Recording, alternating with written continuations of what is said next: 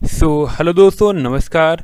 दोस्तों, अगर आपने डोगमा सॉफ्ट लिमिटेड का रिटेलर आईडी लिया हुआ है तो आप लोग मनी ट्रांसफ़र या अपना पैसा सेटलमेंट करते हैं, यानी मूव टू बैंक करते हैं तो आपको अगर इसमें में जानकारी नहीं है तो मैं आज आपको बताने वाला हूँ कि इसमें आप जब मूव टू बैंक करते हैं तो कितने रुपए में कितना कॉस्ट कटने वाला है? क्योंकि दोस्तों, बहुत ही कंपनी में बहुत ज़्यादा चार्ज करता है बट यहाँ पे आपको बहुत ही कम कॉस्ट में और बहुत ज़्यादा पैसा आप ट्रांसफ़र कर सकते हैं।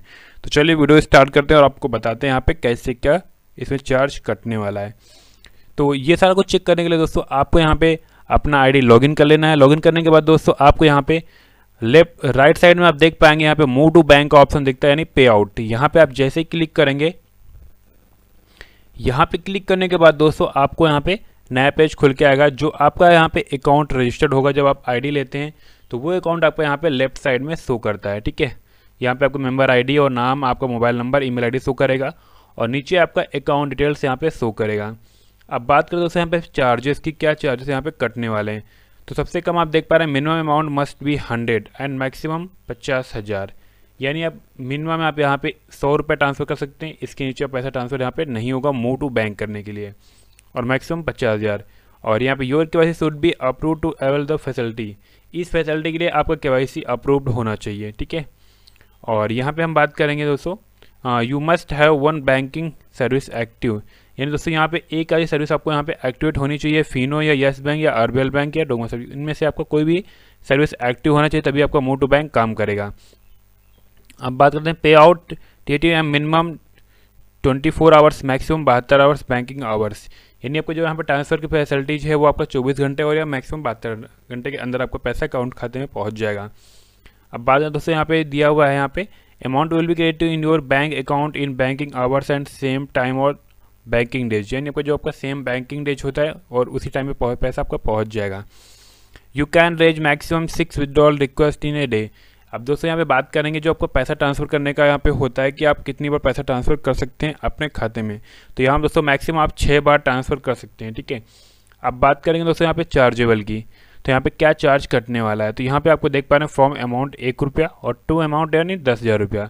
यानी आप एक रुपये से लेके दस हज़ार तक क्या पैसा ट्रांसफ़र करते हैं तो आपको यहाँ पे चार रुपया नब्बे पैसा कटने वाला है। और दस हज़ार एक से लेके पच्चीस हज़ार तक ट्रांसफ़र करेंगे तो आपको यहाँ पे सात रुपये नब्बे पैसा कटने वाला है। और यहाँ पे पच्चीस हज़ार एक से लेके निन्यानवे हज़ार नौ सौ निन्यानवे रुपये तक ट्रांसफ़र करेंगे तो आपका नौ रुपया मात्र कटने वाला है। तो दोस्तों यहाँ पे मूव टू बैंक करने के लिए बहुत ही कम कॉस्ट दोस्तों है यहाँ पे, ठीक है? आप देख पा रहे हैं, एक लाख रुपये आप ट्रांसफ़र करते हैं अपने खाते में तो आपका ये केवल नौ रुपये चार्ज करेंगे और आपके खाते में पैसा पहुँच जाएगा। और ट्रांसफ़र करेंगे दोस्तों आपको कुछ जहाँ पे जाम नहीं पालना होता है, यहाँ पे आपको बस इंटर अमाउंट करना होता है। जो भी अमाउंट आपको यहाँ पे ट्रांसफ़र करना है, वो अमाउंट यहाँ पे लिख के आप यहाँ पे सेलेक्ट कर लेंगे आईएमपीएस या एन करना है, ठीक है? और यहाँ पे सबमिट रिक्वेस्ट पर क्लिक कर लें, आपको पैसे, आपके खाते में पैसा पहुँच जाएगा। बट ध्यान देना जितना पैसा आप ट्रांसफ़र कर रहे हैं, उसके ऊपर ये ये जो चार्ज लग रहा है, उतना अमाउंट प्लस होना चाहिए। ठीक है? और यहाँ पे उसी खाते में पैसा जाएगा जो आपका यहाँ पे रजिस्टर्ड है, जो आप आईडी लिया होगा। ठीक है? उसी खाते में जाएगा। ये फैसिलिटी तभी मिलती है जो खाता आप ऐड करते हैं, उसी में मिलता है। ठीक है? अदर बैंकों में आप ट्रांसफ़र करें तो वहाँ पर आपका चार्ज ज़्यादा कट जाता है। सो दोस्तों, ये था बिल्कुल नॉर्मल स्टेप यहाँ पे कैसे क्या ट्रांसफ़र का चार्जेस है। ठीक है? और क्या क्या फैसिलिटीज़ हैं? कितनी बार ट्रांसफ़र कर सकते हैं? मैंने आपको सारा कुछ यहाँ पे बता दिया है।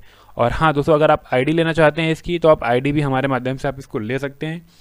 आईडी के चार्ज दोस्तों यहाँ पे मात्र पाँच सौ रुपये आपको चार्ज रहेगा जिसमें से आपका फिनो या आई बैंक का ए आप ले सकते हैं और सारी सर्विस आपको इसमें मिल जाएँगी।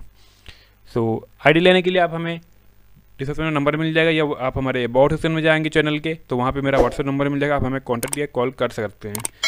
सो आई होप आपको जानकारी पसंद आई होगी। जानकारी पसंद आई तो वीडियो को लाइक करें, अपने सभी फ्रेंड को शेयर करें। चैनल पर नए हैं सब्सक्राइब नहीं किया तो तुरंत सब्सक्राइब करें। सो मिलते हैं ऐसे नई वीडियो के साथ में।